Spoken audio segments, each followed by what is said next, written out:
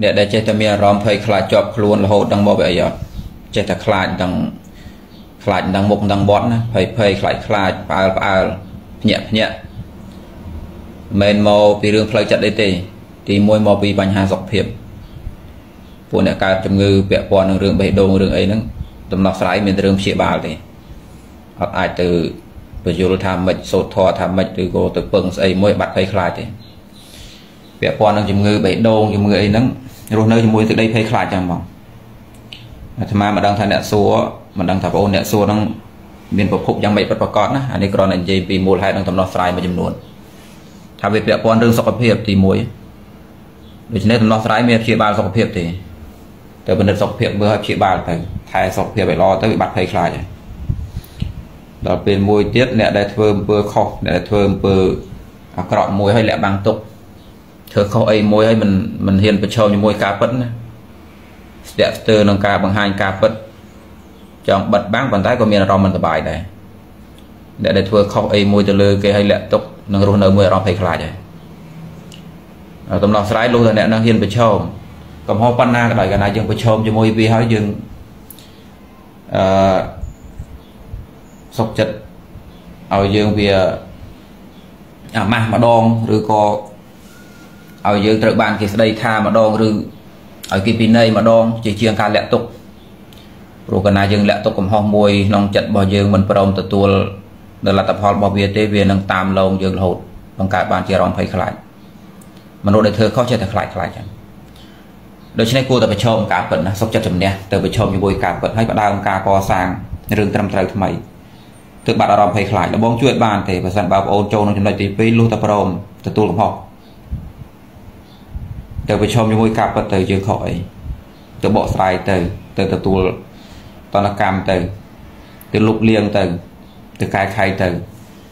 យើងជំនះវាបានតែម្ដងលែងមានអីមកតាមលើយើងទៀតហើយទី2ដល់ពេលអ្នកដែលចេះតែមានអារម្មណ៍ភ័យខ្លាចទី3កើតចេញអំពីពួកគេនឹងបាក់ស្បាតបរាជ័យច្រើនពេកខកអំណងច្រើនពេកដួលច្រើនដងពេក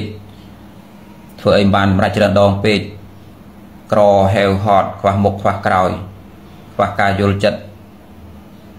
ហើយទាំងអស់ហ្នឹងរួមផ្សំចូលគ្នាធ្វើឲ្យនៅនឹងរស់នៅជាមួយអារម្មណ៍ភ័យខ្លាចអ្នកបរាជ័យច្រើនដងណា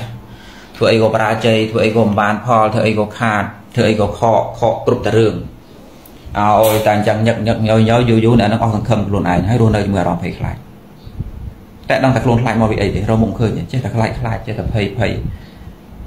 រស់នៅជាមួយនឹងអារម្មណ៍ភ្ញាក់ផ្អើលផ្អើលផ្អើលភ្ញាក់ភ្ញាក់ដល់ដំណោះស្រាយ ត្រូវរកបុគ្គលដែលខ្លួនឯងស្រឡាញ់ផុតទុកចិត្តផុតណាអ្នកណាក៏ដោយដែលខ្លួនឯងស្គាល់ស្រឡាញ់ផុតអាចទុកចិត្តបានផុតហ្នឹងចូលទៅនៅជាមួយគេខ្លះបោជីវិតយើងដែលយើងនឹងទៅនៅជាមួយគេមួយរយៈទៅយកគេជាទីប្រឹក្សាយកគេជាមនុស្សជ្រោកមានបញ្ហាអីសួរនាំគេវិភាសាមួយគេគឺរកបុគ្គលណាដែលយើងស្រឡាញ់ផុតវាគង់តែមានទេមិនមែនអត់ទេបាទមនុស្សមួយជីវិតក៏គង់តែមានណាមួយដែលខ្លួនស្រឡាញ់ផុតទុកចិត្តផុតហើយវាមិនតែអត់ទេដំណោះស្រាយគឺថាគឺរកបុគ្គលនឹងឲ្យចូលទៅនៅមួយគេទៅ ទៅនៅមួយគេរយៈទៅអត់មានវិធីផ្សេងទេពួកអ្នកបាក់ស្បាតពួកអ្នកបរាជ័យពួកអ្នកខកម្ដងអ្នក stress អ្នកពិបាកច្រើនទុកច្រើនណាគួររកទីប្រឹក្សាមួយគឺរកបុគ្គលដែលខ្លួនឯងស្រឡាញ់ផុតទុកចិត្តបានផុតហើយចូលទៅនៅមួយគេទៅតោះណាទៅនៅមួយគេមួយរយៈទៅជីវិតយើងផ្លាស់ប្ដូរហើយដល់ពេលសេចក្តីភ័យខ្លាចមួយទៀតវាកើតចេញអំពីទម្លាប់នៃការបដែតបដោយអារម្មណ៍ហ្នឹងអត់คุ้មគ្រងវា ជីវិតយើងនឹងមិនសូវចេះคุ้មគ្រងចិត្តបដោយចិត្តទៅក្នុងរឿងនេះរឿងនោះដែលដងដែលអាចដែលទឹកច្រើនពេក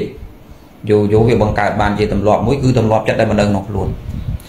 អ្នកដែលមានទម្លាប់ចិត្តមិននៅក្នុងខ្លួនច្រើនរស់នៅជាមួយនឹងអារម្មណ៍គិតរឿយរឿយហុយទៅលោតណាមិនសូវនៅខ្លួនមិនសូវនៅប្រាណអ្នកហ្នឹងគង់ប្រឈមភ័យខ្លាចញាក់ញាក់ខ្លាចខ្លាចផ្អើលផ្អើលស្រាវស្រាវគឺអញ្ចឹងមកដូច្នេះបុគ្គលពួកទី4នេះដំណោះស្រាយមានតែធ្វើកម្មដ្ឋានទេ តើកម្មដ្ឋានជាអ្វីទៅកម្មដ្ឋានគឺជាវិធីតម្កល់ចិត្តឲ្យមមមានច្រើនបែបច្រើនយ៉ាង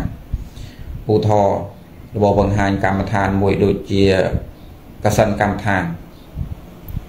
អូនចូលទៅក្នុងទីស្ងាត់ហើយគ្រាន់តែសម្លឹងណាយកភ្នែករបស់យើងទៅសម្លឹងស្អីមួយមានពលឺភ្លឺណាម្លឹងវាជាប់10នាទី20នាទីធ្វើបែបនោះប្រចាំថ្ងៃមើលវាចាំបិទភ្នែកមើលបិទភ្នែកមើលបិទភ្នែកមើល ធធ្វើយ៉ាងណាបំភ្លេចចោលនៅពិភពលោកនោះទុកតែចិត្តយើងនឹងវាបានហើយតោះនេះជាយាមទម្លាក់ចោលនៅអ្វីគ្រប់យ៉ាងឲ្យនៅសល់តែចិត្តហើយនឹងរូបភាពនឹងបានហើយធ្វើតែបែបហ្នឹងទៅអាហ្នឹងកម្មដ្ឋានបែបប្រសិនកម្មដ្ឋានបែបណាប៉ាគឺគេយកចិត្តរបស់គេមកតាមចោលដង្ហើមចេញចូលបែបនេះហើយលបងធ្លាប់អនុវត្តទាំងពីរយ៉ាងណាវាជួយយើងមានស្មារតីល្អមានការចងចាំច្រើនហើយមិនសូវភ័យខ្លាចទេវឹកហាត់បែបហ្នឹងមេឃភ្លៀងមកសំបីរន្ទះបាញ់គាត់ភ្ញាក់ដែរ និយាយមែនណាតិចថាពូតចុះអ្នកដែលមានការវឹកហាត់ចិត្តចឹងអត់ភ្ញាក់ទេគេឯងស្រែកអាយេអាយោភ្ញាក់នេះភ្ញាក់នោះយើងស្មាស្មាអត់ភ្ញាក់ទេអារម្មណ៍យើងនឹងល្អអ្នកអប់រំផ្លូវចិត្តបានបែបហ្នឹងវាធ្វើឲ្យសតិបញ្ញារបស់យើងកើនការចងចាំរបស់យើងពោះមានអីចូលមកយើងឆ្លើយតបទៅវិញបានល្អហើយមិនមិនភ័យខ្លាចទេមិនភ្ញាក់បានមិនផ្អើលទេរស់នៅអារម្មណ៍នឹងខ្លួន ចិត្តកណានៅជាមួយខ្លួនមិនសូវភ័យខ្លាចទេតែប្រភពនៃការភ័យខ្លាចដោយសារយើងបដែតចិត្តនឹងទៅក្រៅច្រើនពេកទៅទៅទៅទៅទៅទៅរហូតដល់វាកើតត្រឡប់មួយគុំក្រងវាបានមិនសូវនៅខ្លួនទេអ្នកអញ្ចឹងឃើញអីតិចក៏ភ្ញាក់ដែរភ័យងឹតតិចក៏ភ័យឃើញរូបអីតិចក៏ភ័យសក់សក់នៅនៅសក់សក់ភ័យអញ្ចឹងមកហើយបើថាមានអីចូលមកវិញនិយាយវាភ្ញាក់ខ្លាំងទៀតអញអញាក់បាក់ដៃបាក់ជើងដូច្នេះប្រសិនបងប្អូនចូលចំណុចទី4ណា គួរទៅរកកម្មដ្ឋានធ្វើបើសិនបើមិនដឹងកម្មដ្ឋានជាអ្វីពិបាកធ្វើណាស់ពេកបង្កើតត្រឡប់មួយគឺស្ដាប់ធម៌មុនដេកហើយរបៀបនៃការស្ដាប់ធម៌មិនបាច់ស្ដាប់ច្រើនទេស្ដាប់តែ15នាទីទៅកុំខ្លីពេកកុំវែងពេកប៉ុន្តែធានាថា5តនាទីនេះគឺខ្លួនឯងស្ដាប់តន់ទី1តន់ពាក្យសម្ដីគេនិយាយពាក្យណាតន់គ្រប់ម៉ាត់បើស្ដាប់មិនតន់ស្ដាប់ម្ដងទៀត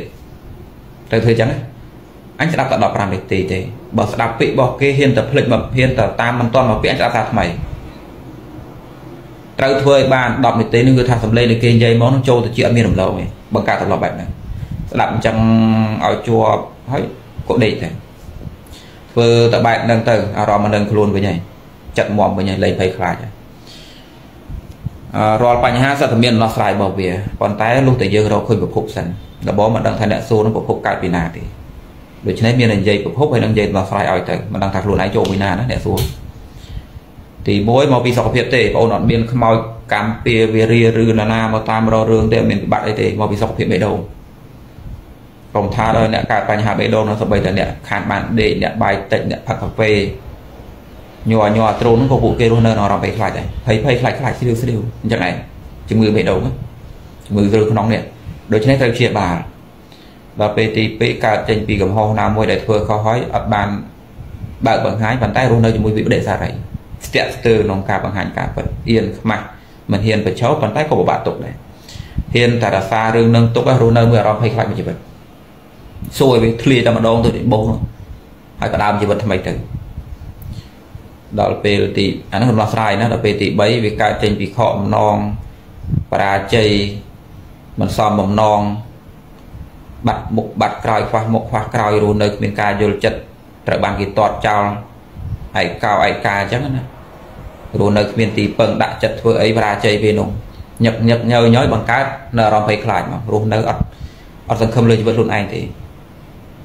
អ្នកអញ្ចឹងគួររកទីប្រឹក្សាល្អមួយរកណាណាដែលខ្លួនឯងស្រឡាញ់ផុតទុកចិត្តបានផុត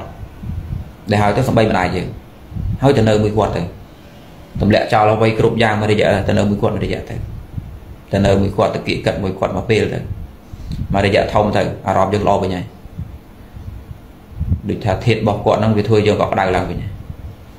ដល់ពេលទី4វាកើតចេញអំពីអ្នកដែលបង្កើតទម្លាប់ឲ្យចិត្តនឹងវាចេះទៅទៅក្រៅខ្លួនច្រើនអ្នកចឹងគួររកកម្មដ្ឋានរកធម៌មកស្ដាប់រកស្អីមកផ្ចង់អារម្មណ៍មុននឹងដេកក្នុងមួយថ្ងៃ10នាទី20នាទីទៅបាត់ឯងតោះណា